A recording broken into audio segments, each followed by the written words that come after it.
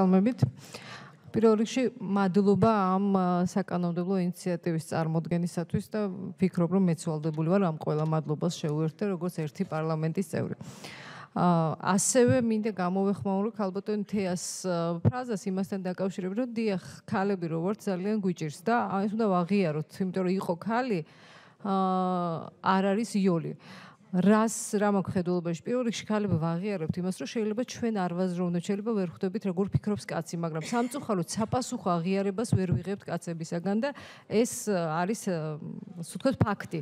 და ამიტომაც გარკვეულ საკითხებში მე ვფიქრობ რომ გაცილებით მეტი სიღრმისეული ჩახედვა არის საჭირო და დღეს ჩვენ პარლამენტი ზუსტად იმ ეტაპზე ვართ, როდესაც აი ამ სიღრმისეული ჩახედვის შედეგად ვცდილობთ რომ შევცვალოთ არსებული რეალობა. ეხლა რა არის ამ ცვლილებების მიზანი? პირველ რიგში მინდა ვთქვა რომ ცვლილებების მიზანი არის რომ იყოს მუდმივი ბალანსი შენარჩუნებული პარლამენტში, უკვე შიგნით. მიზანი არის ის რომ აა წარმოდგენი ყოველი 3-დან 1 იყოს ქალი პარლამენტში. და დღეს ვსაუბრობთ ამის შესრულების მექანიზმები, ანუ რაც არის წარმოქმნილი, ეს ამ პრინციპს, ამ მექანიზმს რამდენად სრულყოფილად შეასრულებს.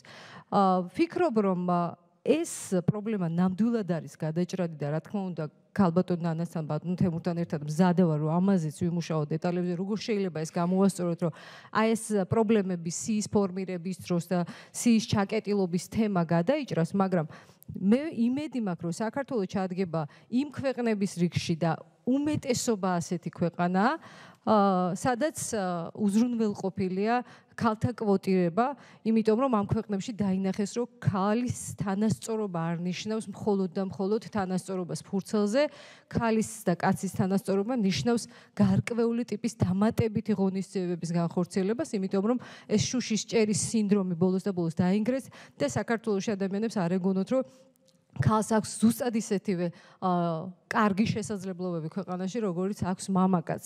თვალი გავუსწოროთ უნდა ამ რეალობას და პირველი ნაბიჯი საქართველოს პარლამენტის მხრიდან იქნება სწორედ ამ კვოტირების მიღება.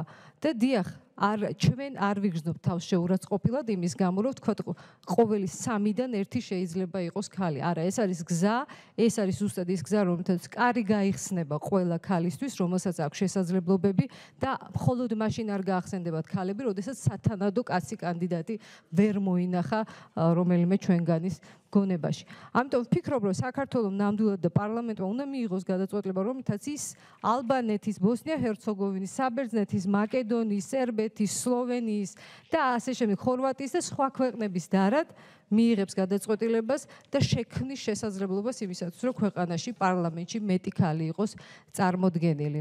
რაც შეეხება დეტალებს, როგორ იქნეს უზრუნველყოფილი პარლამენტში მუდმივად შესაბამისი რაოდენობის ქალების წარმოქმნა მე ვფიქრობ რომ ეს ტექნიკური საკითხია და ამის მოგვარება შესაძლებელია. დიდი მადლობა.